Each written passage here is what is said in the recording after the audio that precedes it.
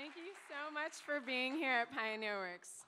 Um, for those of you new to us, because I see some unfamiliar faces, Pioneer Works is a nonprofit cultural center dedicated to multidisciplinary education, programming, and production. Between our major exhibitions and programming throughout the year, we also host workshops and classes, as well as residencies across our five disciplines, which are music, science, technology, and of course, art. We strive to make art and culture accessible for all.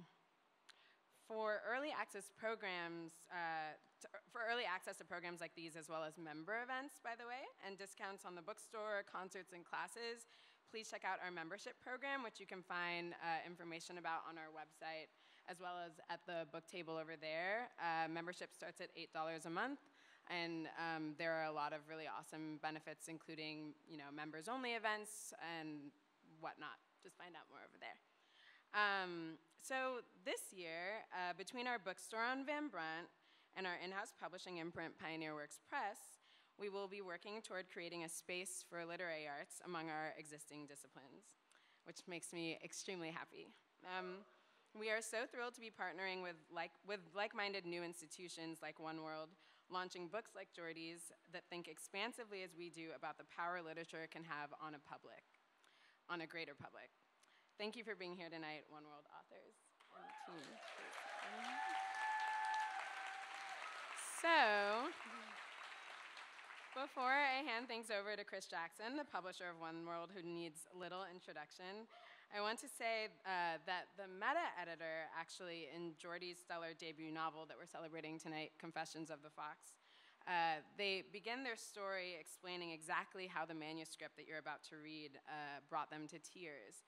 Uh, which is something I also experienced in my first reading of the editor's foreword, which I think afterwards I sent Victory uh, an email with the subject line, Subway Tears, on my way home from the Random House office. Um, but in that uh, foreword, uh, the editor writes, I cry when I see, if only if, if, when I see a flash, if only briefly, that something other and better than this world already exists in potentia. And I don't know what it was about that, but it just kind of broke me down.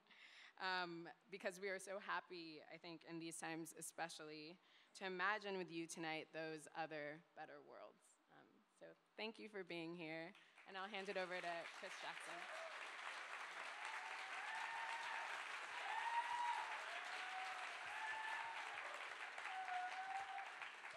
Hello, everyone. Um, it's so great to be here. Um, so I just want to thank our host, first of all, Pioneer Works, and especially Camille, wherever she is. There she goes. Um, who's been an amazing, enthusiastic, responsive, creative partner in putting together this event in this amazing space.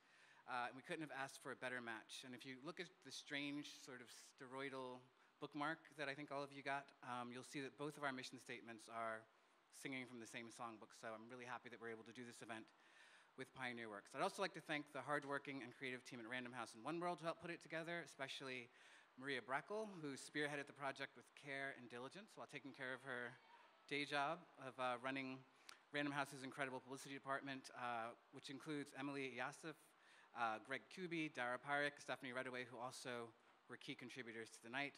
I'd like to thank One World's awesome uh, art and design team, including our award-winning art director Greg Mollica, our designer Sharanya Durvasula, and Nina Soor, who, oh, it's gone. That thing that was hypnotizing you moments ago, she uh, animated that. Uh, and finally, I want to give a shout out to One World's editorial team, Victory Matsui, uh, Nicole Counts, and Cecil Flores, who were incredibly instrumental, more instrumental than anyone really, in bringing together these authors and um, having cultivated their work uh, so they could be here tonight. Um, and most of all, I'd like to thank you for being here tonight. As a great writer, Jay-Z once said, you could have been anywhere in the world, but you're here with us, so thank you. We talk a lot at One World about books, as you might imagine, uh, the physical and digital object, which is what our company is in the business of putting out, but also a lot about writers and readers, the people our work is meant to serve. Historically, and probably in our personal histories too, reading books has always been both a public and private experience. Books offer a complicated solitude. A good book is a great excuse to close the shutters and dive deep inside ourselves. But the irony is that in that solitude, we often find the deepest connection. As James Baldwin once said, Uh, it was through reading that he learned that the things that tormented him the most were the very things that connected him with all the people who were alive and who had ever been alive. But books can also be an occasion for more social forms of connection. The earliest books in Europe were written in, that were written in vernacular languages were meant to be read aloud and enjoyed collectively. And of course, the global tradition of oral storytelling predates and continues beyond the invention of the printing press. People have always come together to hear stories being told. As James Baldwin might have said but didn't, it was at readings that I learned the things that tormented me the most were the things that connected me with all people. So, this event is part of our larger project at One World to honor both forms of connection the connection in solitude between a writer and her single reader, and the connection in physical space between storytellers and a community of readers. The joy of the public side of this project is not just about bringing readers in contact with each other and with our writers, but bringing our writers together too, so they can share their works and their works in progress with each other, talk about ideas and process, find points of tension and harmony, support and inspiration. This is our second major event. The first, which launched our nonfiction list, was about nine months ago and featured Ta-Nehisi Coates, Kimberly Drew, Quiara Hudes, Eddie Wong, and Jenna Wortham. And we're planning many more here and around the country. So be sure to sign up for our newsletter, which I think is on, our, on that big bookmark, um, so you can stay up to date on all of that. Now, I don't want to state the obvious about the immensely troubling times we're living in, but I will offer a phrase that Grace Lee Boggs uses in her book, The Next American Revolution, these are not just times to try our souls, but these are times to grow our souls, which I read as a call for connection and communion, for finding spaces where we can share our stories and explore ideas with people who may not know what we know or agree with everything we think, but who still endeavor to see and understand us as fully human. To grow our souls means to tend to the autonomous, unconquerable region of our imaginations, but also to connect with each other and imagine different worlds together. So I hope you'll join us not just here tonight, but our other events in the future and also in the pages of our books. So I'm so grateful for the four writers who've come from near and far to share their stories with you this evening to celebrate the launch of One World's first work of fiction, Jordy Rosenberg's Confessions of the Fox. And I'm just going to give you a quick introduction of the four readers who will then come up in turn. Uh, Kali Fajardo Anstine is our furthest traveler, arriving from the distant shores of uh, Colorado. Her stories have appeared in the American Scholar, Boston Review, the Bellevue Literary Review, the Idaho Review, Day One, and the Southwestern American Literature. She's been a resident at uh, Yaddo, Hedgebrook, Hub City Press, and was awarded the 2017 Laura Hruska Fellowship through Soho Press for her novel In Progress. Um, she holds an MFA from the University of Wyoming, and we're excited to publish her debut short story collection, Sabrina and Corina, next spring. And that's uh, Kali. Next to her is Brooklyn's own Mira Jacob, and who's the, the author of the critically acclaimed novel, The Sleepwalker's Guide to Dancing. Her recent work has appeared in the New York Times Book Review, Vogue, Guernica, BuzzFeed, The Telegraph, Bookanista, and The Scofield. She lives right here in Brooklyn with her husband and son, both of whom feature in her graphic memoir, Good Talk, which we're really excited to be releasing early next year. So that's Mira. Um,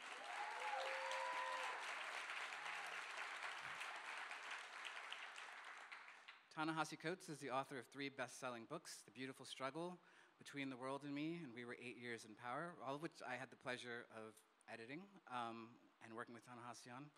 Between the World and Me won the 2015 National Book Award. Ta-Nehisi is the recipient of a MacArthur Fellowship.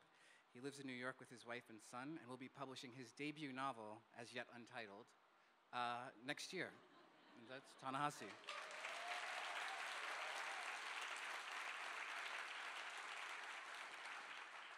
And finally, Jordy Rosenberg, whose Confessions of a Fox launched today. Jordy Rosenberg is a transgender writer and scholar. He's an associate professor at the University of Massachusetts Amherst, where he teaches 18th century literature and queer trans theory. He lives in New York City and Northampton, Massachusetts. Now, today, The New Yorker ran a review of his book, Confessions of the Fox, just one of many incredible raves for the book, calling it many wonderful things, but it ended with this note Foxes, the review did, foxes are getaway artists. They leave behind only traces and symbols. One virtue of Rosenberg's novel is that it never tries to cage the wild animals at its heart. Jack, who's a character in the novels, confessions uphold two contradictory claims that love inscribes the body and that love refuses to mark the body. For these characters, what is beloved flourishes in its own private mystery. Perhaps that is why Voth, another character, at last plotting an escape, cannot tell us where he is going. I'm waiting for you in the future, is all he offers. Catch up, catch up. So, here to begin this night of catching up and imaginative narratives is Iskali Fajardo and Stu.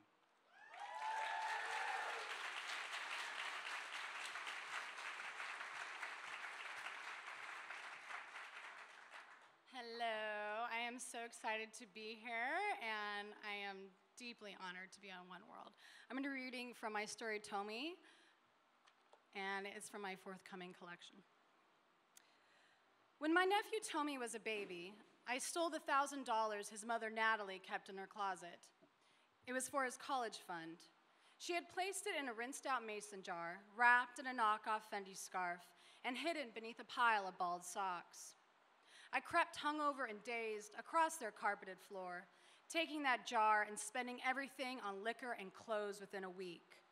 Natalie always suspected it was me, though my brother Manny said I would never do something like that.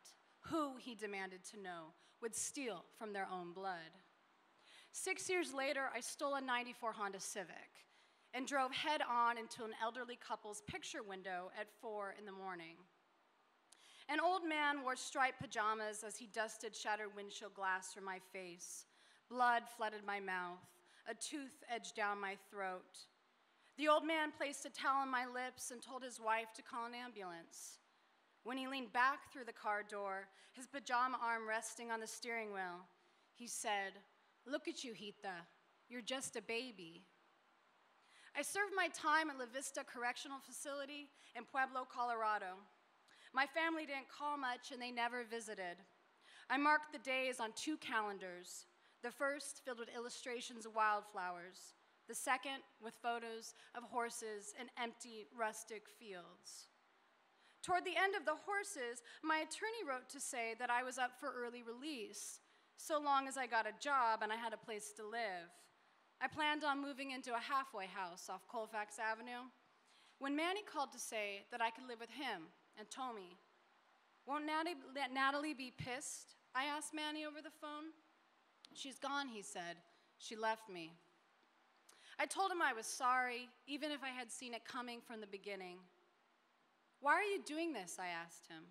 You're my sister, Cole, my blood. But please, don't fuck up this time. When he was 22 and I was 15, Manny inherited our family home after our father died of a heart attack while shampooing his hair. Our mother was already long dead. When I was very little, she swallowed an entire bottle of painkillers.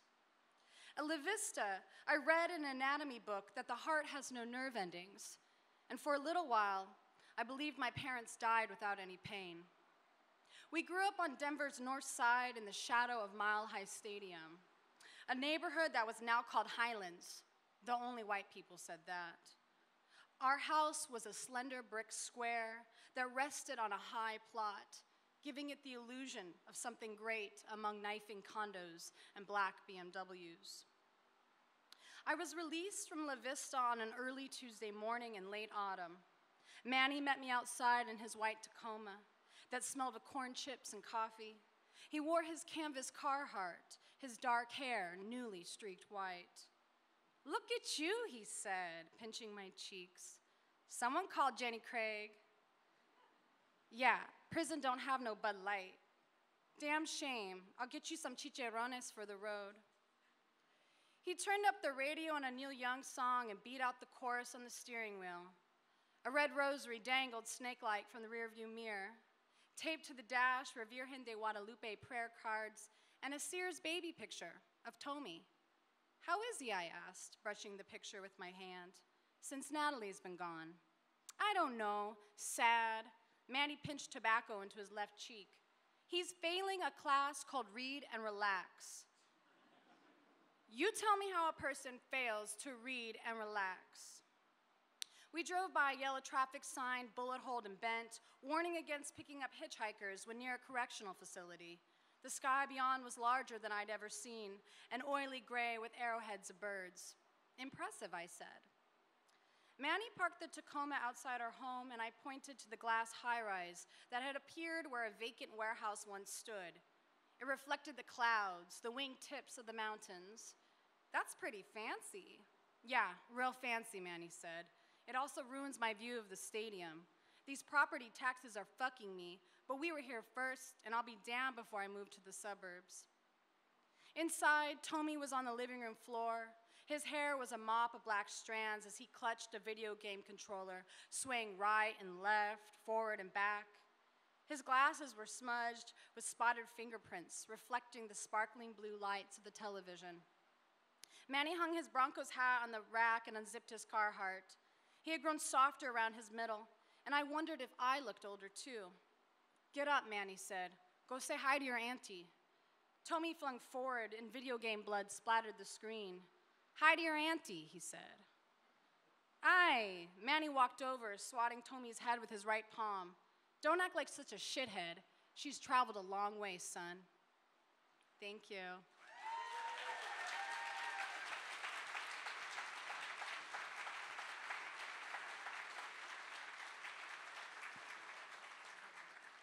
Was beautiful.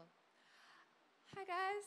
Um, I am going to be reading you a little bit of a book that I'm drawing. And I'm so glad to see you tonight. I was funny, I was talking to my best friend earlier today, and I said, Oh my God, is there any hope? And she said, I'm on Twitter right now trying to figure that out. Don't go to Twitter to figure that out. Come here. Um, I'm really glad we're here tonight together. So I'm going to read to you. Here's a clicker from a book I am writing and drawing. It is called Good Talk Conversations I'm Still Confused About. You don't need to know much about this except that at some point I will be using an Indian accent. That is the accent that I had before I went to school. It's the accent of my parents, and it's an accent I miss. Ready? You ready? Yeah, okay. All these people are running around. All right. Can we start? You got me? Yeah, I got it. I'm pressing it. It's nothing happening. There you go. Growing up, I thought American parents, the really cool ones anyway, smoke pot with their kids. That did not happen. My parents were insanely strict. So you guys only got high on holidays?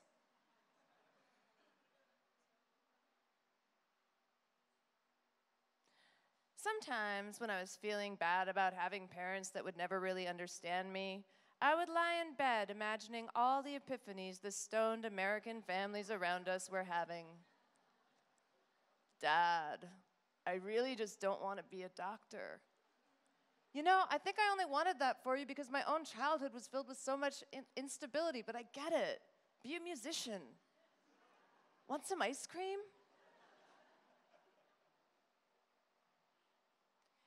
In terms of understanding my life choices, my parents were pretty epiphany free. Recurring parental conversation, 1984 to 2003. But being a writer isn't a real job. Do something that gives you stability. You can always write on the side. She's right. You have to be able to support your children. I don't even want children. You have to want children. the year after I got married, the recurring parental conversation stopped. Mira, I have the cancer. No. Yes, it's going to be okay. Dad. My dad getting cancer was not okay. It was not okay the first year with the first surgery. And by the third year, second surgery, and fifth round of chemo, it was really not okay. Eat one chapati, just one. You're wasting away. I can't. Dad, have you tried smoking weed? Are you nuts? The drugs will kill him. Things you didn't imagine doing in your 30s. House of the guy everyone bought weed from in high school.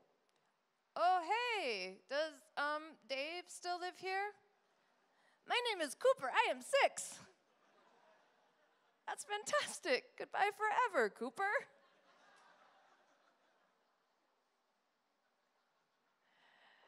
Thing you did not imagine doing ever. Um, hey, it's Mira. I was wondering if you knew where I could get some. It's uh, for my dad. Guy who was always high in high school. Dude, seriously? That one guy you went on a date with. Wait, who is this? One of the carpool moms. You betcha. Come on over, honey. The first time I brought weed home, it did not go well. Oh my God. You know the drug dealers? Who saw you do this? The FBI will come. You will get us arrested. Do you want to get us arrested? What kind of child are you? Your mother cannot go to a jail for a crime she did not commit. I will not let this happen. Your friends gave it to me for you. My friends don't. Yeah, they do. No. It's gonna be okay. Mira. Getting my dad high wasn't easy at first. Absolutely not. It will help you eat. No. If you eat, mom will be happy. Give it to me. This is your dad on drugs day one. Can I have a little more rice? Yes, what else? Do we have ice cream? Nobody move. I'm going to go buy ice cream. This is your dad on drugs week two. Do you know what is so funny? My old friend Charles comes and sees me every day at 4:20, and do you know what he wants to do? I can guess. This is your dad on drugs, month three. Can you believe this Google Earth? It's a miracle. I can sit here in my chair and fly pshoom to anywhere in the world. Last night I went to the Grand Canyon and the Forbidden City. What a time to be alive. What a beautiful life. Dad. What? Nothing. Great idea. One night, a few months after he started smoking, my dad finally asked, You want some? Wait, really? I almost didn't do it because it wasn't in character with what I knew of him, but then neither was dying of cancer. We got high. We ate chips and ice cream and peanut brittle. We watched TV. We laughed loudly and for too long at everything. A commercial came on with an old man driving a little boy in a red sports car. It was summer on the television. It was winter outside. Something popped into my mind, not quite clear, but on the periphery.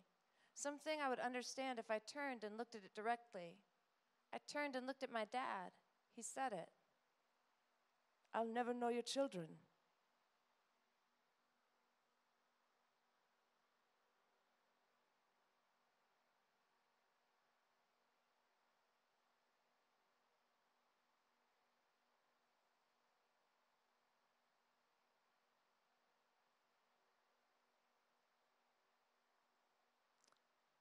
Two years after my dad died, I had a son.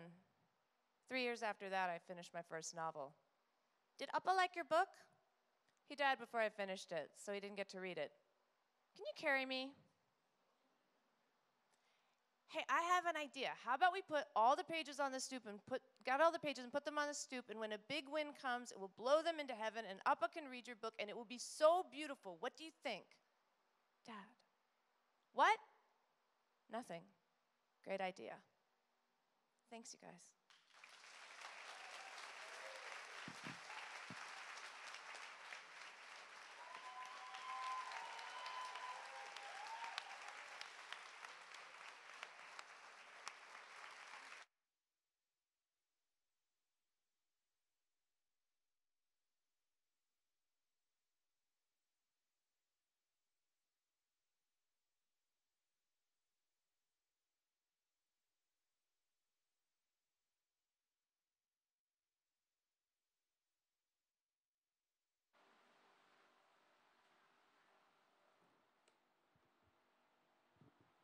Always like this. Yeah, does this solution?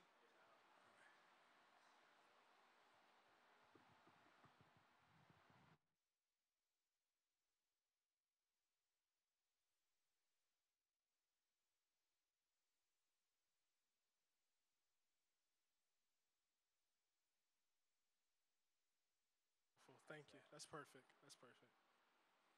It's always like this. That was such a beautiful, inspirational, incredible story. And um, no, it really was. Give it a round of applause. It was excellent.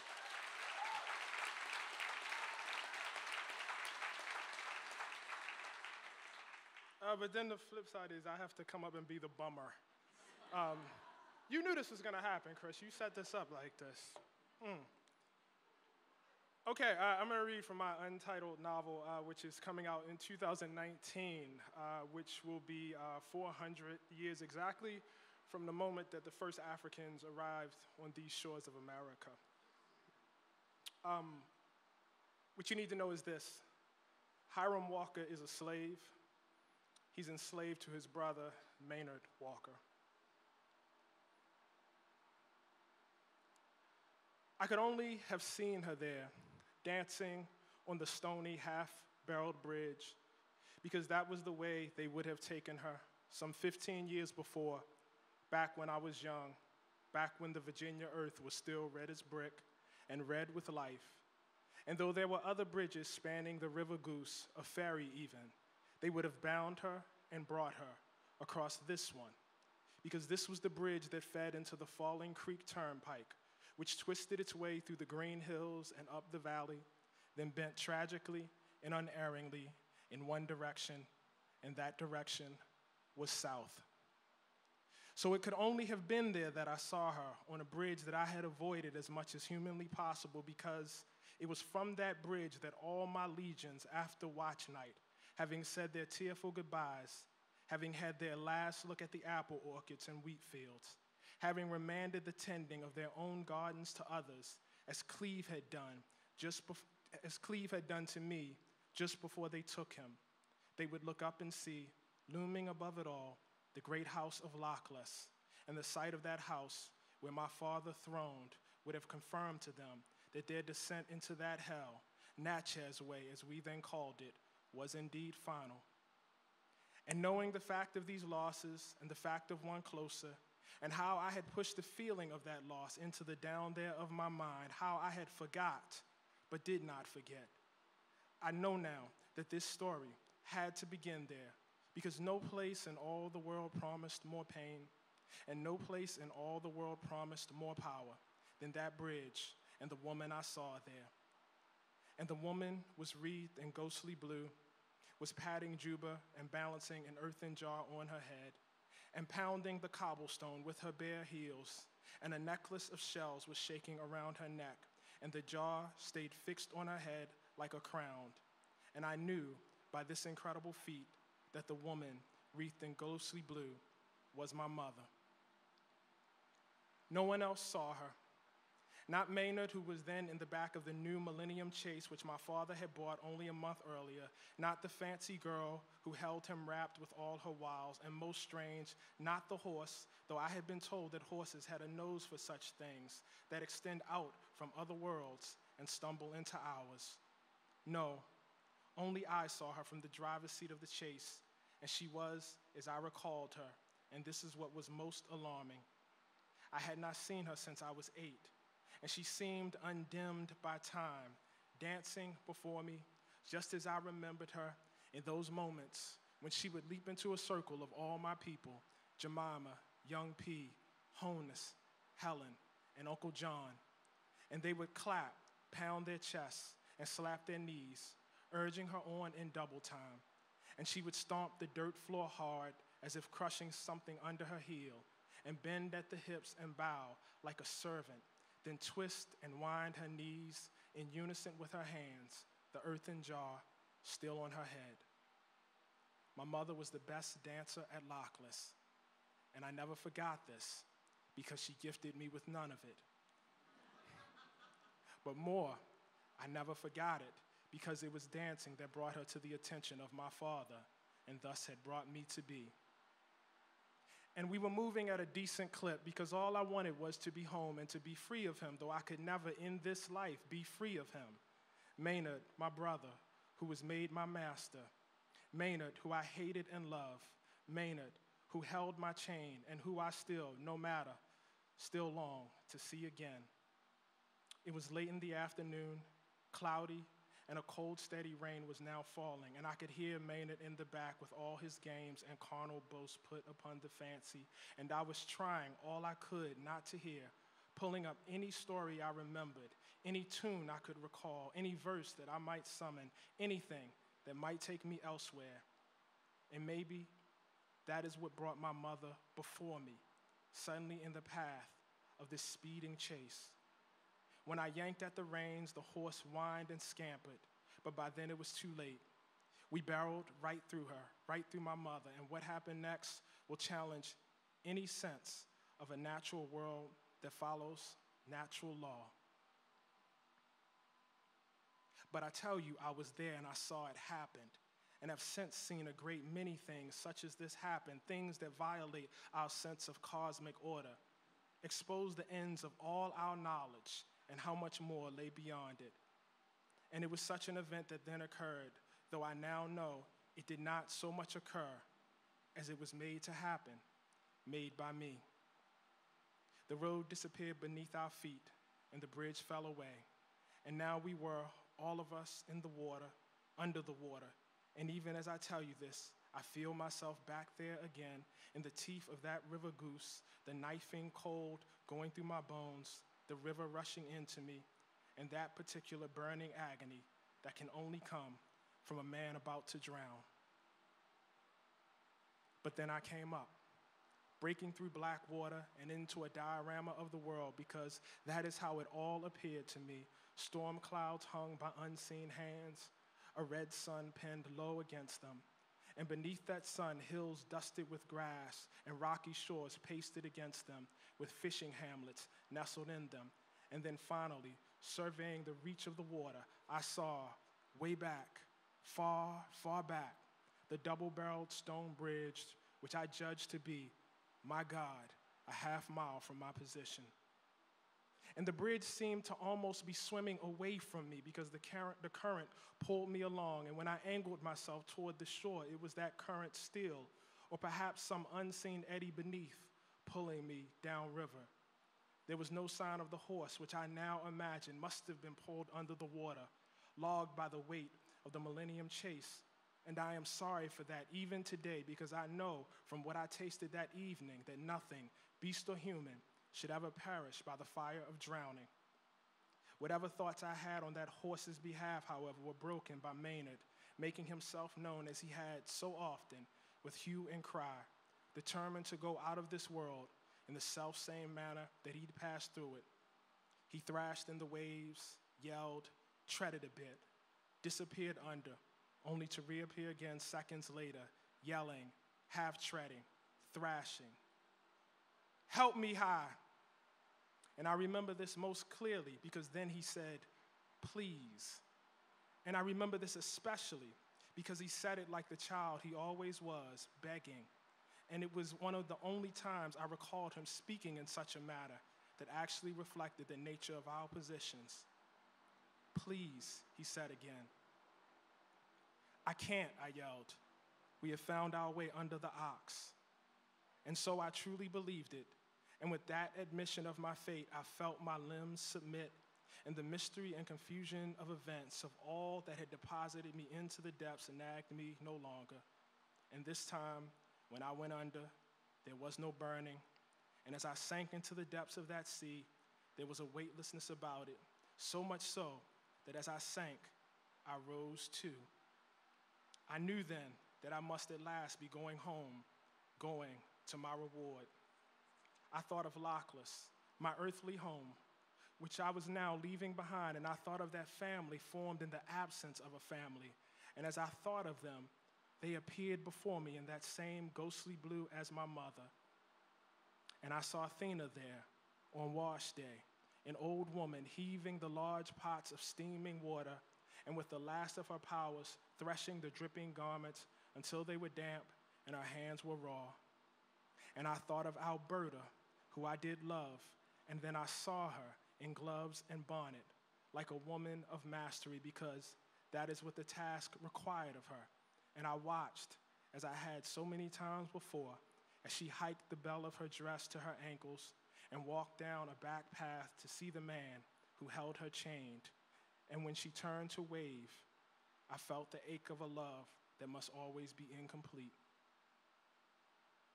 And then my mind journeyed further back still to those who'd gone down Natchez way, and I wondered how many of them might well have gone further, and if any of them would be there to greet me. Perhaps my mother then, who just then flitted before my eyes, water dancing in the ring, Or perhaps my Aunt Emma, who worked the kitchen all those years and whose image now passed before me, hauling the holiday meal to all the assembled walkers, plates of fruit tarts and various breads of meat, though none of them for her and her kin. And thinking of all of this, of all the stories, I was at peace and pleased even to rise into darkness and fall into the light, to journey off to that home place where every moment is as daybreak over the mountains. And at that moment, I felt that I was not so much in the water as in a pocket swirling within it.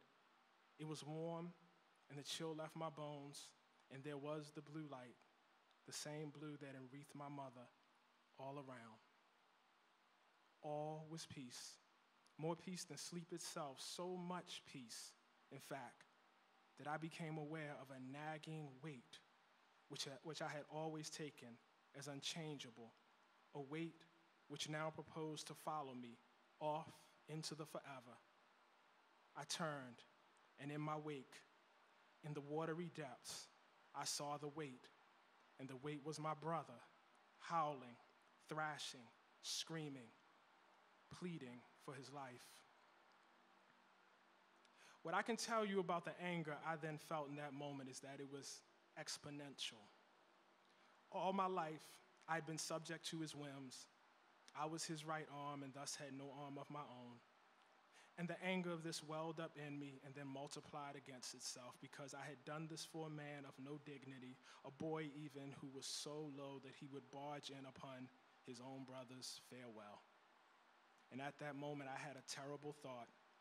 Maynard would follow me into eternity, holding the chain the whole way. I looked back and saw Maynard, my little May, grappling after me, thrashing into that pocket around me. And when he swung his arms, the scenes which had appeared before me, the scenes which had been of so much comfort to me, of my mother, of my Aunt Emma, of Thena, of my Alberta, warped and buckled in the churning water. And the sight of this, and the fact of his pleading impotence, and the notion of another life where I must be man for two overwhelmed me. I drew back my arm like a hammer, and when the hammer found my brother, he flew away from the blue pocket, and Maynard, my little May, pleaded no more. And I would like to say that I mourned him right then, or took some manner of note, but I did not. I was headed to my ending.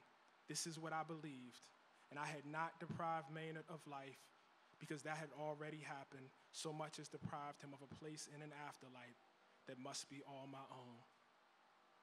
When I turned back again, there was my mother there before me, and I saw her kneeling before a boy, and she put her hand on the boy's cheek, and she kissed him on the head, and she placed the shell necklace in his hand and closed his hand around the thing. And then she stood with both hands over her mouth, and she turned and she walked into the big blue light. And the boy stood there watching, and then cried after her, and then followed after her, and then ran after her, and then fell as he ran, and laid there crying into his arms, and then stood again and turned, this time toward me, and walking over, he opened his hand, and he offered the necklace to me, and I saw, at long last, my reward. Thank you.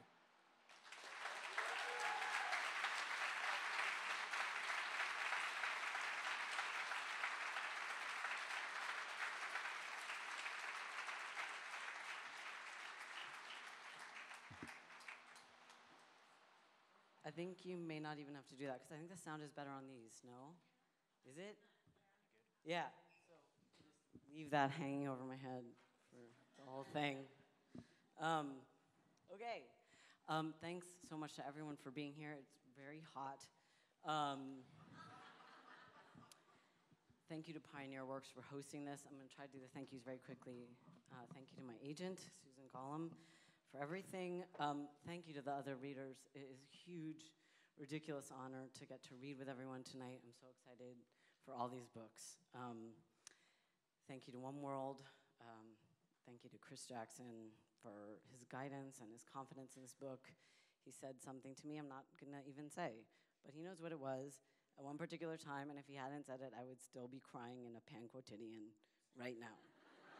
um, and the last person I want to thank, um, bet there are probably some other editors here tonight, maybe. Um, I don't want to start like a battle royale of the editors, um, but I will say that Victory Matsui is a fucking genius.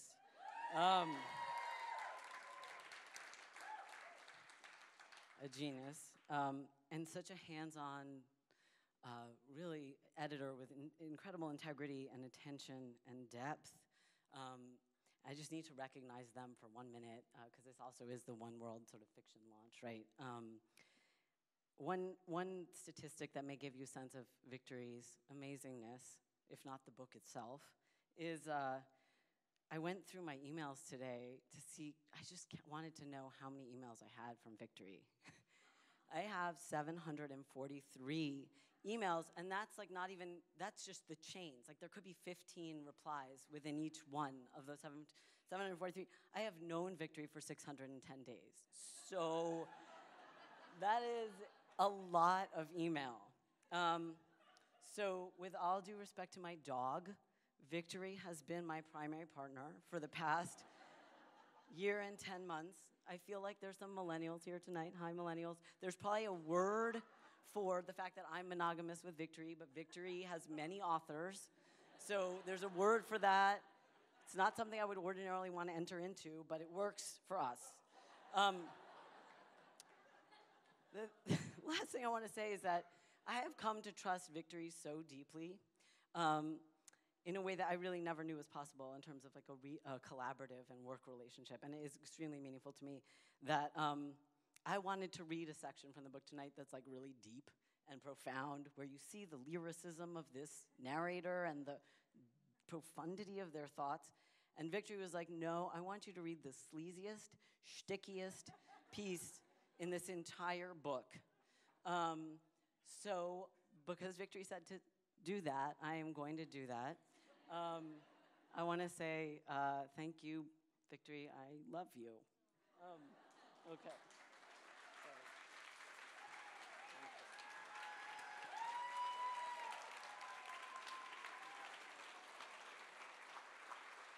All right. So if this is bad, it's also Victory's fault. So you know that now. Um, the only thing you need to know about this is that, so it's this uh, book, it's a found manuscript, this kind of um, sleazy uh, academic uh, scholar has found uh, a manuscript that might be the first 18th century um, transgender memoir of this real life prison break artist. And the editor character, who's also trans, is trying to authenticate whether this manuscript is real or not. But none of that will come into this. This is just his disgusting internal monologue. Oh, no, it's not, because it begins because he's been called into, he's being oppressed by his boss at, at his, the university where he works. This boss is, the, is called Dean of Surveillance Andrews. Um, okay. I knew something was amiss when instead of receiving Dean of Surveillance Andrews's comments on my annual review by email, I got a call from his office manager during my office hours to set up an appointment to discuss it. She suggested I come in immediately. I hustled to the meeting midway through my lunch, where things did not have a collegial tone. Sit down, Dean of Surveillance Andrews blared as I entered. He was standing, gesturing in a very threatening manner to the ergonomic chair opposite his desk. He had the air not of a parent scolding a child, but more like a dog owner pointing out shit to the creature who made it. I will add that it was not clear whether I was the dog or the shit. I sat. It was my first view of his new office on the 17th floor of the library. They really had done a spectacular job selling all the books and renovating in the style of a high end Marriott. I still had my half eaten turkey sub hanging from my right fist. Should I finish this sub while he fires me? I thought. That seemed a step too defiant, but then I couldn't let it just hang there, stinking up the office with its warm turkey scent. I considered tossing it in the trash, but of course the deli odor would intensify and bloom from the bin. Honestly, only a psychopath throws away a half eaten turkey sub in someone else's trash bin. If he definitely is firing me, I promise myself I will throw this sub in his garbage can and walk out. I opened my bag and stuffed the sub, spilling from its mustard spattered bouquet of butcher paper. In between my university owned crappy laptop and the attendance book I always mean to utilize in class, but I'm both too scattered and too Marxist to actually police my students that way. Dean of Surveillance Andrews really had a nice office. I mused silently about how much thought had gone into appareling this room to make it seem like you were pampered by, while being fired. I wondered how many people had sat in this strangely buoyant ergonomic chair while being canned. Dean of Surveillance Andrews had been talking the entire time, of course. When I tuned back in, it seemed to have something to do with the language of my contract. It is the right of the university to requisition improperly utilized leisure hours if that period of improperly utilized leisure takes place on the premises. What improperly utilized leisure are you talking about? I managed. I determined to distract him with a metaphysical query. How can you improperly utilize leisure? I lobbed like an asshole. this he ignored. There have been reports of you playing phone Scrabble during your office hours.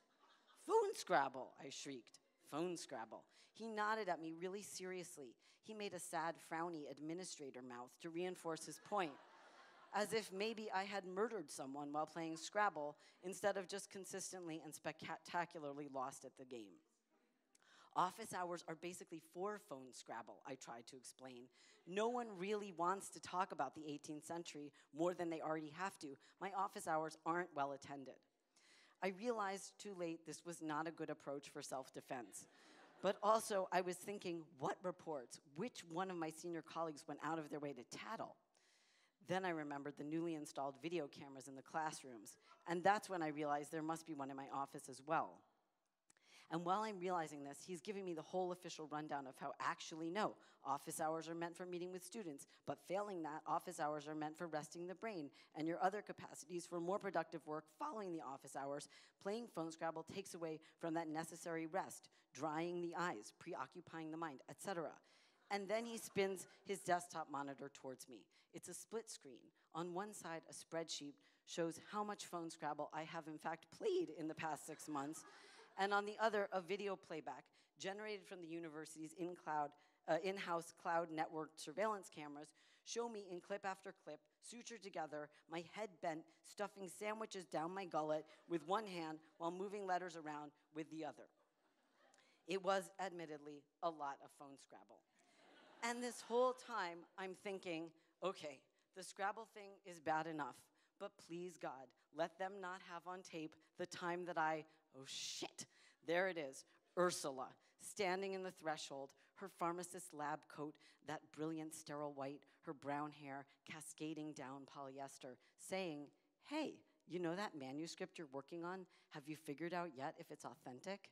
And I'm like, well, everything, everything from that period is like a weird mishmash. I deliberately don't get into it at length because I don't think she's really asking me a question. She's trying to say something, signal something to me. You said it's really queer, though, or trans, or whatever, she furthers. See, this is what I mean about signaling. Let me just say now that if you're butch, queer, trans, etc., and you're alone in a room with someone and they ask you a question about queerness or transness or the history of queerness or transness or its archival documents, it's probably not because they want you to answer it at length. It's because they want you to understand that they're kind of queer and they may be inviting you to do something about it. And maybe I should have done something about it. I know that technically, thanks, Victory, I know that technically speaking, I look like I could do someone pretty good. I'm aware, this is a character. I'm aware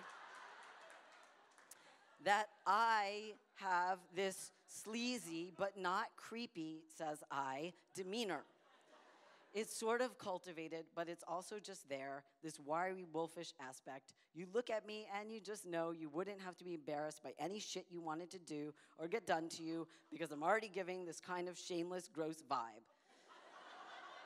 As we know, really taking one for the team here, as we know, Ursula already knows everything about me since she's my pharmacist, for Christ's sake, so that was a green light right there. Not that that surprised me, actually. A lot of women are relieved not to have to deal with biocock. And to be honest, what I have going on intrigues them. It intrigues them libidinally, let's say. And I feel compelled to reflect here on the fact that what I have going on was intriguing even before the tea. So now it's just, well, I hope you don't think I'm an asshole for mentioning it. Or you know what? Think I'm an asshole. I don't care. You didn't spend your early sexual life trying to explain your junk to confused young women, or perhaps you did. Then you remember, what is this? They'd ask. Are you a hermaphrodite? Reader, they did not ask this with appetite. But that's in the past because now we're all grown up and everyone's seen a thing or two of the world, and it turns out there's an entire population of women who really hunger for some mythic genital sublime shit. I mean, you would be surprised how many women like getting done by an unclassifiable monster. But it's been so goddamn long since I did anyone that I'm just looking at the innuendos Ursula's dropping, kind of hanging in the air between us like I'm some kind of neutered benevolent alien who's landed amongst humans and is hearing someone speak in vaguely translatable language about something called sex. Well, sorry. Watching my failed hookup alongside Dean of Surveillance Andrews was exactly as hot as you can imagine. Between these shenanigans and the phone scrabble, he says, you now owe your workplace 80 hours of labor restitution. Next semester, you'll teach an extra seminar. And he means gratis. Just give the university an extra free, uncompensated class. And then the coup de grace. You're being put on unpaid leave for the rest of the semester. You will still have access to your office, but we've already reassigned your class. Access to my office, oh joy. My shitty office in an OSHA condemned building, my office that would probably constitute a liability to house anyone who hasn't signed the no fault office accidental death clause recently instituted by the person we refer to as neoliberal provost. see how they fuck you? Do they see how, do you see how they fuck you?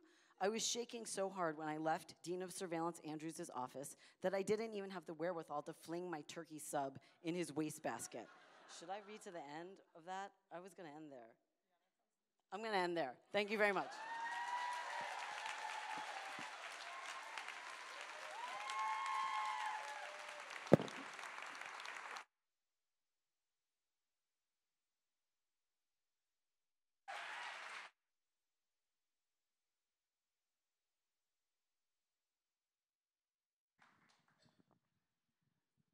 Was so good. Let's give another hand for all of our creators.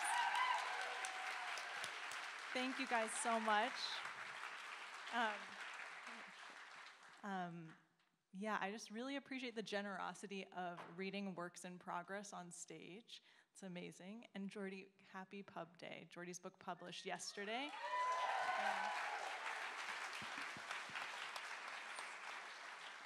and I love you too. So I'm going to ask a couple of questions. And by the way, I'm Victory Matsui. I'm an editor at One World. Um, I'm so happy to be here. We have like a bunch of Random House people here who are working behind the scenes. Chris Jackson, Nicole Counts, and Cecil Flores as part of the um, One World editorial team. So it feels like a real like family event. So thank you all so much for being here. Um, I'm going to ask a few questions of my own, and then I got this stack of questions that you guys asked. So I will turn to some of those after I ask some of mine. Um, so my first question, can't really see you, is for Ta-Nehisi and Mira. So you both have written successful books in the past, and the projects that you read from tonight are new genres for you. So, Mira, this is your first illustrated graphic memoir. Ta-Nehisi, this is your first novel.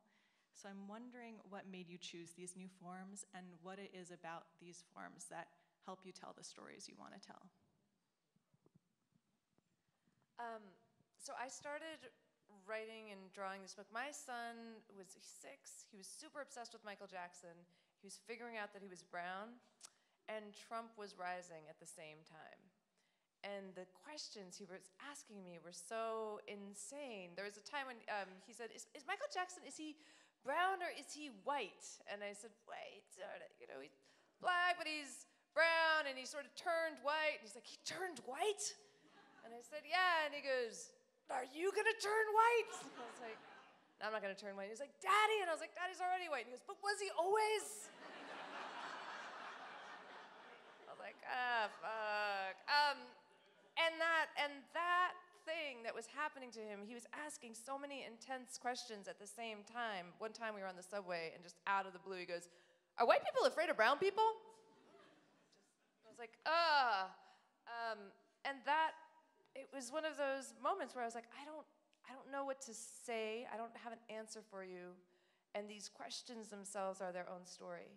And a lot of times I would try to put something like that in an essay, right? We all try to do that. But the preamble to an essay, I started feeling the judgment in the preamble, the ways that people dismiss you as you're ramping up to even tell them about an experience, and the ways in which they'll discount you. And so I just cut him out as a paper doll, and I cut me out as a paper doll, and I put us on some album covers, and I just wrote the questions. And it was so freeing to do that because I felt like I didn't have to perform anymore. I felt like I didn't have to ask somebody to believe me. I was just telling them what it was. So, in answer to your question, I think the thing that this has allowed me is a certain amount of freedom to just say the thing I am trying to say and not perform it for somebody that may or may not actually care. Oh yeah, uh, I did this because Chris Jackson told me to. Um, I'm not even joking. Uh, I published my first book with Chris in uh, 2008, and after I was done, um, he suggested I try fiction. I don't know if that was because of uh, the book sales at the time. It's very funny to hear him say I have three best-selling books. That's a very recent development. Uh, so I don't know what compelled him to say that, but he, you know, he felt like I should try it. Um, so I've been working on this book for 10 years. Better be good. So uh, it's funny to realize that, you know. First you realize how old you are. Um, that's the first thing. But, you know, I've worked on something for 10 years. It's like, man, this better get done. Um, the other piece of the question, uh, seriously, about why is, you know, I'm by training, well, I was a poet first, and then I moved over to, um, you know, journalism and, you know, essay writing and, and that sort of thing. And I think, A, when I made that transition, I left some things behind. But I think um, in general, in our politics in this country, uh, people overrate the importance, I told you this already, uh, Victory, but uh, people overrate the importance of fact and argument. Um, there is this notion um, in, in our politics that if you just speak to the American public um, and provide them with accurate information and do so respectfully, they will then make the correct decision. Um, what this misses is there's a whole suite of information, a bank um, of stories and myths that are downloaded into our brains from you know the moment that you know we, we, we, we come out of our parents and you know enter into the world the thing i think about is how cool i thought the dukes of hazzard were when i was a kid you know um, and it took a while for me to figure out you know what was exactly on the, the general lee. Uh, the reason that uh, and why it was called the general lee.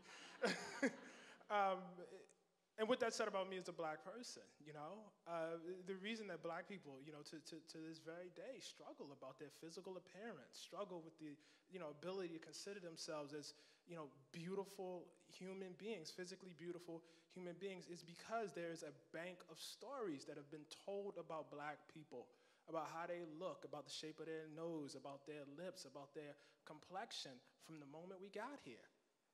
And so it's tough in this moment, you know, to say, you know, to a young black child, no, no, no, black is beautiful. When that child is going up against that entire bank of stories every moment that they walk out. So how do you reverse this? Well, I don't think you reverse it in the moment, you know. Um, but I think what you have to do is develop your own bank of stories, your your own myth, you know. Um, so from the political angle, I mean that that is you know a big part of what compels me. The trick is to actually write a good book, though. None of that means anything if the book sucks. Yeah, I really love that idea of writing your own myths. And that kind of leads me to a question that I wanted to ask Kali and Jordy, which is about the places that you set your work in. So, Kali, your short stories are set in um, Denver, Colorado, and they center indigenous and Chicana communities. And Jordy, you're writing in the 18th century London and also the like bizarrely bureaucratic American college campus. And these are places that people might think that they know well. And I'm wondering what drew you to these places to write them anew or to write new stories or myths about them. Okay, I will go. well, it was a natural choice for me. Um, my family has been in the southern Colorado region since recorded history on my mother's side. And when I started writing, it was the only thing I was writing about was place. But it wasn't until I went to graduate school at the University of Wyoming and I was, you know, I was living up in the American West. I mean, this was like this windy, dusty place where there was nothing to do but go to the indoor flea market and, and drink a lot if you were me. And I lived in like this 1890s hotel that had been frequented at one point by politicians and then another point by prostitutes. And I was like really living in the myth of the American West. And at that same time, I was reading a lot of books that were presenting the American West as this very white space, this very Anglo space. And I will say that I became very angry that I wasn't seeing my, you know, my family history, my people represented in any of these narratives. You know, it was a lot of like John Wayne, national parks, and going out and trying to find yourself. And I was just like, well, my people are just living here. Like, this is just where we're from. And when I started to pull these stories together into a collection, I started to see that that anger and that passion was coming out directly about Denver, a place that is rapidly gentrifying. So for me, the experience of walking around my city and my place has become a, an experience of grieving. And I wanted to present um, a side of the story that was prior to that. I wanted to show what it felt like to be in a place where I felt accepted and I felt that my people were thriving. And I think that there are ways to do that um, through these stories that are going to show you that this is, you know, there are other parts of the American West that isn't just all myth. You know, these are realities and people are living deeply entrenched in these for many years, hundreds of years. Uh, yeah, so wait, the question was how did you come to these stories? Kind of, yeah. I mean, more eloquently put. Uh, I mean, I think I think that, um, and this is one of the things that like was so amazing about One World, and, and I feel like One World knows so deeply is that I think a lot of stories come out of uh, the intersection of politics and passion, not like you're like the attaché to, to Joseph Stalin and you were ordered to write this story, but that you like are are are possessed by some political questions and historical questions, at least for me. And so, um, one of the things was that you know, um, in terms of just political community that I feel like I live in in the present, um, there's so much amazing work going on around prison abolition and queer and trans um, activism. And I think that, um, and, and I knew much of the history of that going back to Sylvia Rivera, Marsha P. Johnson, and those early movements for trans liberation. Um, but, and I was at the same time working on these 18th century archival documents about this very famous prison break artist in the 18th century. And I was kind of interested in thinking about how that intersection of sort of gender nonconformity and resistance to prisons and resistance to capitalism, um, what was its longer history? And one of the things I noticed about um, all the archival materials, because I think there's a question of history, and then there's the question, and maybe this is where some novels come from, of what has fallen out of official history all this material about Jack Sheppard, so much of it described him as very um, effeminate and gender, what would be described now as gender nonconforming. And I think I just thought that aspect of him had kind of fallen out of how people imagined him. And I think on a certain level, I just thought, oh, this character is trans. Not that he would have thought of himself this way, but that he represented a certain intersection of like hatred of capitalism and like a certain, certain forms of embodiment. Um, and another thing that fell out of the histories at the time was that his like primary partner, main partner, that's often referred to in the material, um, was this woman reputed to be a sex worker and also kind of his partner in crime, she was described in a very unkindly way in the 18th century documents. Very sexist, like this vixen, that femme fatale. I do love a femme fatale, but you know, I mean, I think, all right, but anyway, this wasn't represented lovingly. And who like lures him into this life of crime and um, I th- but also at the same time, where there were all these records that Jack's first prison break was actually breaking Bess out of prison. And I thought, oh, there's a love story there. Like, just, you know, like this is a love story and it's fallen out. So it was very kind of sentimental on that level. Okay, I want to ask you and Ta-Nehisi about magic because you're both kind of writing these historical novels um, that are based in reality but have some sort of speculative elements to it, whether it's apparitions or supernatural forces. And I'm curious what you think speculative elements help you say about the past. Like if there's some sort of truths that that helps you access. Um, hmm. Oh, that's deep. um, you know, when I was a kid, Harriet Tubman was like uh, you know, in every black history month, you know, everybody knew about Harriet Tubman, she freed slaves, da da da da. And, um, well, not da da da. um, Harriet Tubman is very important. She's in my book. Um, and my family is uh, from the Eastern Shore of Maryland, where Harriet Tubman is from, uh, where Frederick Douglass. That's where my family was enslaved on my mother's side of the family. And later, when I went to read biographies of Harriet Tubman, I, I don't know, like, like when I was in school, like it struck us, and I think this is like one of the things school does. It makes things that should be incredibly exciting and adventurous rote and boring. And I don't know how Harriet Tubman became rote and boring, but th- they did it. They really, they really, I mean, they put it on a multiple choice quiz, you know, or, or whatever, you know what I mean? But this, this, you know, actually is quite, you know, the story. This is a woman who, uh, when she's a child, uh, is struck in the head by you know, a weight, suffers from seizures for the rest of her life. Uh, frees, we don't actually don't know, you know, um, some outrageous number, whatever the number is, of enslaved uh, people, all the while suffering from seizures, you know, actually disabled, you know, but somehow repeatedly, you know, just outwits this system, such to the extent that biographers to this very day don't, they're not completely sure what route she was taking. And I love those spaces where people don't know, right? Because that's what magic is. You know, that's your opportunity really uh, to create. And so when I saw that, I saw, oh, okay, that's where I'm supposed to go. You know, um, so I, I, don't know what truth will get you out of that.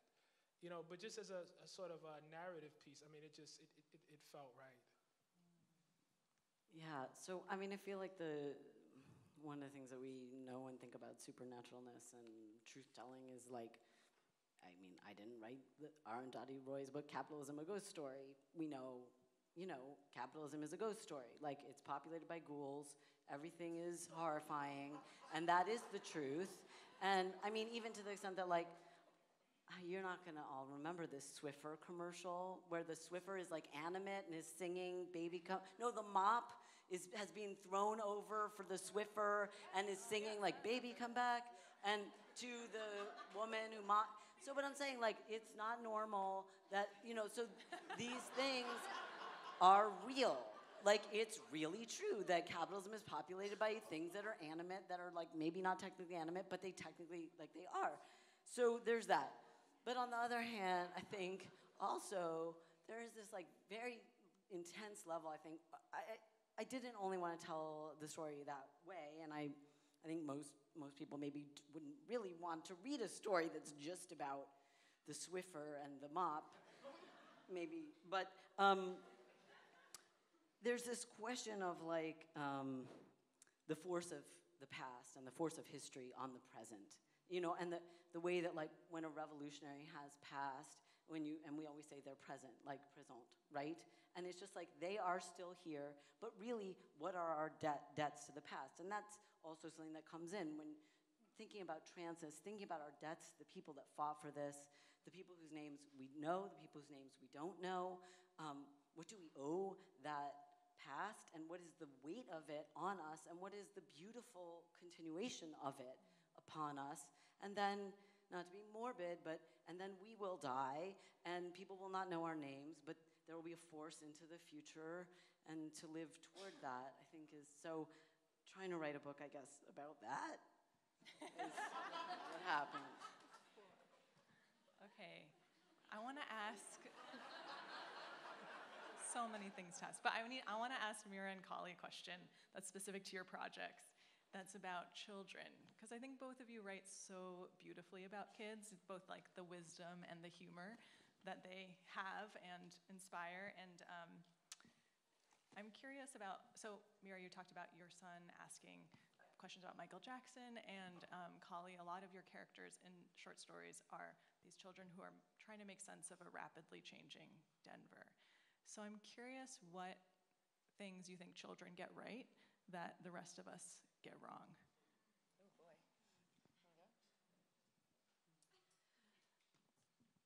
I think that children are a lot more empathetic than most adult people. And actually, I think children, just in general, aren't given enough credit. You know, they're incredibly funny, they can be incredibly smart, they can make these like these biting remarks to you too that are really mean and hit you in a spot that you didn't know you had. It's like this weakness that children can seek out. Um, but I, I think that my child characters, um, they're, they're just a lot closer to the ancient wisdom that their grandmothers are always trying to beat down them. And when I, so I grew up in a family of seven children, so I was always around children. And I carried their sort of truths over into my stories. Uh, but I don't know about them getting things right, but I think that they just function as people, and a lot of the times we look them over and we don't think of them as, as smart as they are. Um, but I will say that it really hurts to get you know made fun of by a child, and a lot of my child characters will make fun of you. So I hope you enjoy them. I think you know what's been so interesting to me with my son is there's a level of questioning that happens when you're detached from shame. Right? So when you don't know to feel ashamed of asking a certain question, you'll just ask it.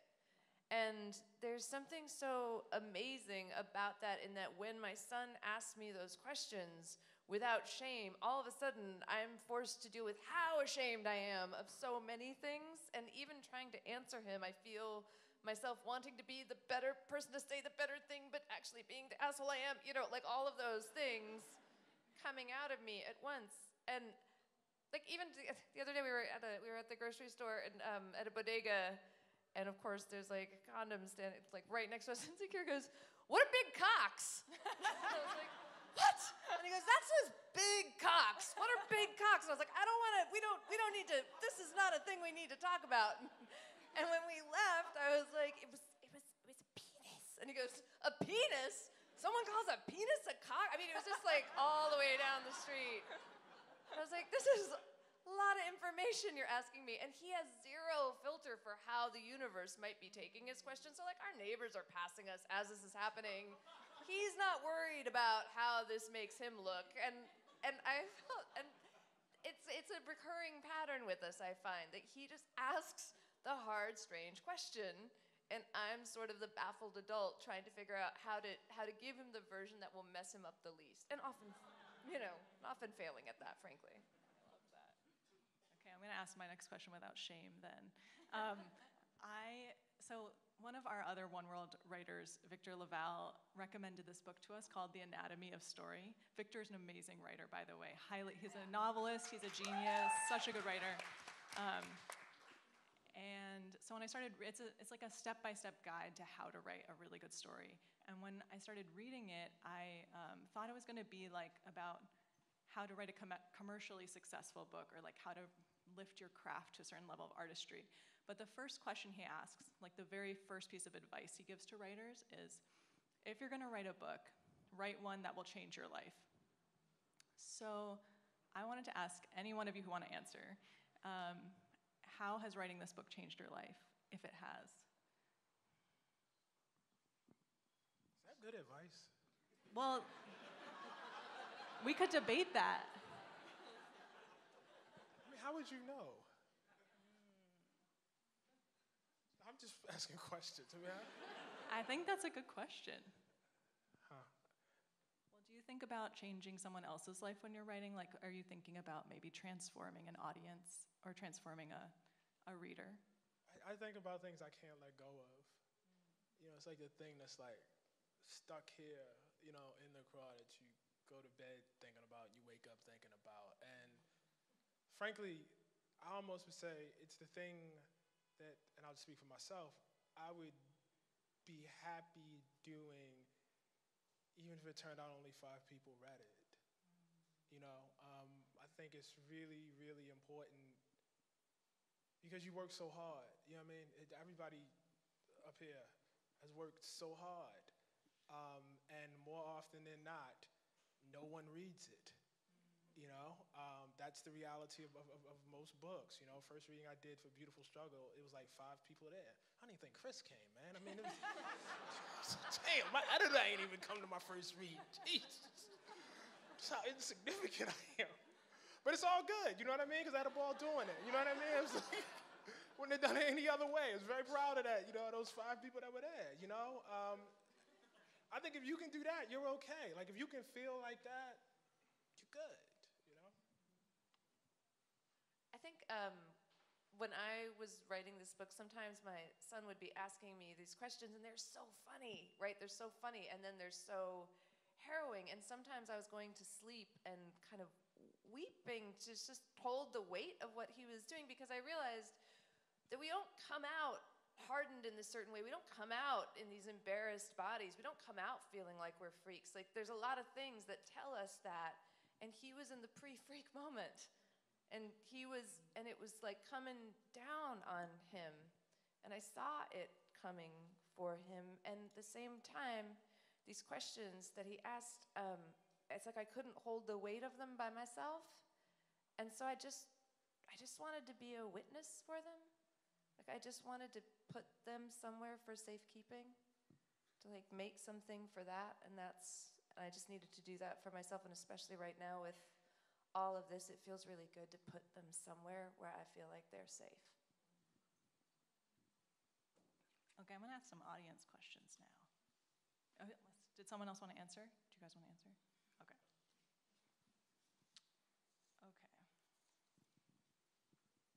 This one says, V, we gave you a selection of questions. Okay, that's not a question. Um,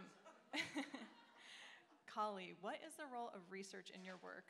Especially as it pertains to a specifically forgotten female past? That's a beautiful question. Thank you, whoever asked that. I love that question. Uh, research has been really interesting. So for my, my short story collection, most of the stories are contemporary. One is set in the, in the 1950s in Denver, and that did require some research um, of cold cases, of murder cold cases in the city. But for my novel that One World is also publishing, I've done extensive research. Um, it's a historical novel set between 1890 and 1833. And a lot of what I was trying to uncover didn't exist in um, these collected record formats because just frankly the museums and the archives just didn't care about the population of the people I was writing about. And then some of the records were, had been destroyed or weren't kept up and um, I actually got into a I got into like a big fight with a, an archive center in Southern Colorado. They had all these oral histories from Latina women from that this particular neighborhood that I was researching, and when they handed me the tape, the tapes were all destroyed. They were mislabeled, and I tried to like I wrote like everybody an email from sitting in this little private room where I was supposed to be listening to the tapes. I like went from executive director down, and then just like went outside and like talked to them out there too. Um, but you know, research has been such a fruitful and interesting and sometimes hard and difficult and sad thing. But I'm hoping that the things I'm uncovering, I'm going to be able to create more, more record keeping in that way. Okay, this question may have been a plant, but how much did the mission of the One World imp- imprint impact your decision to be published with us? It's for anyone who wants to compliment us. how did how much did the mission of the One World imprint impact your decision to be published there? I mean, I have an answer for that. I have an answer for that because I so my book was actually with a different um, imprint, and I was orphaned there, and I sought you guys out. Um, so I will tell you guys what happened is like two days before I was supposed to turn in my book, my editor left for another um, place, and I had a one of those things where you just drop through your floor and cry alone in your cellar. Like, oh, no one's gonna, no, one, no one's there. I'm, I'm just gonna deliver the baby, and nobody's gonna take the baby. Who's gonna take the baby? Um, but I specifically actually did seek you guys out because I needed to have somebody call me on this specific conversation. And I know when I was working with different editors, the way I went in my lifetime, I went right to, we're not going to publish that, nobody cares about that, to, I don't know that I really have an opinion about that, so like publish whatever you want. Like nobody got in here with me, and I needed somebody to get in here with me. And I, I was pretty sure that would be you guys. And it was completely devastating actually when it happened. Like, that is, there's nothing like those first round of edits to just feel like, oh my God, what did I do to myself? But, um, but it felt so good. I was telling a friend of mine, I don't think I've ever had my work edited before for content. I've had it edited for pacing or setting or, you know, all of these kind of technical things, but nobody's ever talked to me about the stuff that I'm caring about or like hitting me in the face with my own assumptions, and it felt so good to, to be able to do that. Yay, thank you. you can find our mission on the back of your program. Um, so here's one for Ta-Nehisi. How different is writing fiction from nonfiction? Easier, harder, or just different? Um, it's just different. Uh, I mean, it's harder for me because it's it's newer to me. Um, but you know, one of the things that um, Fourth draft, um, and one of the things that happens is, you know, when you get to your fourth draft. Oh, sorry, third, third. Let's not exaggerate. Third. Um, and one of the things that happens when you get to your third is it's like, um, I, at least my third, I I have the stories but I really, you know, want to fill the world out a lot more. You know what I mean? Like, what kind of wood was the secretary made out of on the second floor office, and did it have pigeonholes or not? You know, I mean, like little details like that, which are not really particularly necessary in nonfiction, and then you realize you can actually go overboard with that shit. Nobody cares about the pigeonholes, dude. You know, I only care up to the point that it helps, you know, and maybe you go through this, you know what I mean, with your own, with your own research, Kali, you know, in terms of your stuff, but it's like, it's only like up to the point that it can actually cast the spell and make the people believe that anybody really cares. And one of the things was like, you know, just the last bit of research I did was realizing that like you get to a point and it's like, oh, this is where I make shit up. Like this is actually, you know, it doesn't matter, you know what I mean, what, you know, mindset necessarily all of the research says, you know, this person, you know, would have been in or, or been like, like at a certain point, like, okay, I'm in the world, it's, it's, it's me now, or, you know, things not existing, you know, oh, okay, this is, this is the point. You know, at least when you're working, you know, with, with, with historical stuff. Um, at the same time, I feel like all answers to this are pretty premature because I, I don't know what's going to happen.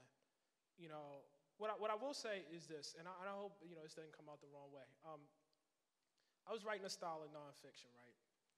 And I got to a point where, and I hope I won't regret saying this, I felt like I knew how to write that style of nonfiction. Um, like I knew where everything went. I knew how to do the lead. I knew how to do all the research. I knew, I knew how to put it together. I, I knew, you know, we had to do the, the last essay for um, my last book. We were eight years in power. And when I went to do that essay, I knew exactly, I knew all the method. I, I knew it. I knew how to do it. And I was in such a place as an author where I felt like, yo, I could just run this back year after year after year after year. You know, me and Chris always had this joke, you know, between the world and she, between, you know, you know, we could just run it over and over again. you know what I'm saying? Let's just keep it going between the world and we. We'll just do it, baby. You know what I mean? But that's not, you know what, what, you know what I mean? That's, that's, you know, and there are people that do that, are writers that actually do that, you know? Um, but that's not hot. There's nothing exciting about that. It's nothing that you know makes me want to get up in the morning and go, you know, hit it again when, when, when I when I hear that. And so it's important for me to like be learning things, you know, as, as, as I do. So I don't I don't know if this is gonna work, right? Um, but in some ways, like that's not wholly the point. Chris is like that is the point. But I mean, what I want is to like feel the excitement of wanting something to exist in the world, not really feeling like I'm at the level to make it exist in the world, and then stretching to get it to actually exist. That, that's the, the best part of writing for me. I love that. Okay, I think I have one last question, and it's for Jordy. Unless we have more time. Does anyone know how much time we have left? Two more minutes. Okay, perfect. Jordy, in two minutes, what inspired you to write a story within a story using footnotes?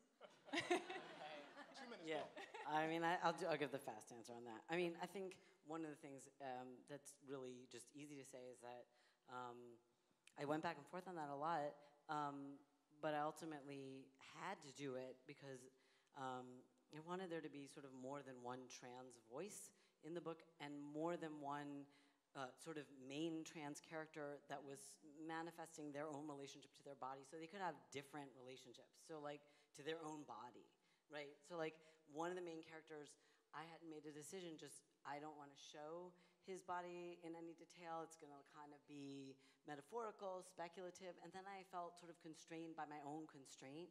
And so then I wanted to have this footnote character who's like obsessed with his own body and is annoying and constantly talking about it. Because, like, there's a lot of realities to trans people, and like, some of them are annoying.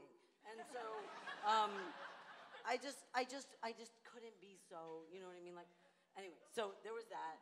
I think the another, another thing is, um, and I will say real quick, I think uh, um, a lot of footnote structure novels have this like very sort of like elitist metafictional element.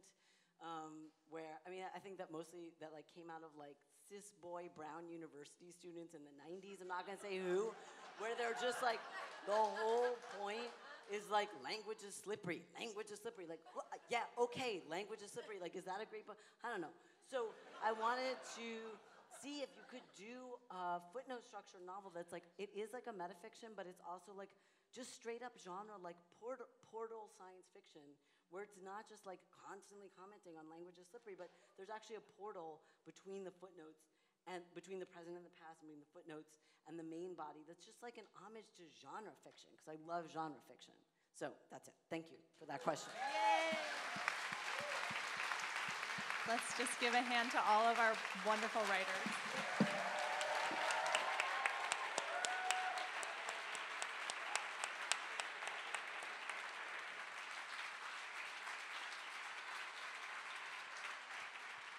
Yes, thank you all so much for that wonderful conversation and for being here tonight.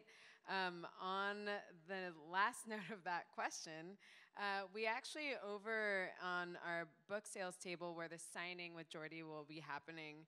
We so uh, at the end of uh, Jordy's novel, there is a resource list of all those footnotes. Uh, it's over a hundred uh, resources, whether they're academic articles or books or ancient texts that we couldn't find. Um, but we have a selection of them over there for you to peruse, kind of reading room style, and we highly recommend even just buying this book if you haven't already uh, to get like a 101 on queer theory um, and on uh, mass incarceration uh, as a topic in general, like lots of different threads there, uh, or uh, also there's a lot of racial histories and theories there. Anyway, there's, there's, it's a very rich resource list, but we have some of it over there, and we highly recommend uh, purchasing uh, Jordy's book for that, and also purchasing books from our other authors that read tonight. Um, thank you all so much, and join us for dancing and a bonfire and bar. The rain has not started yet, so hang out.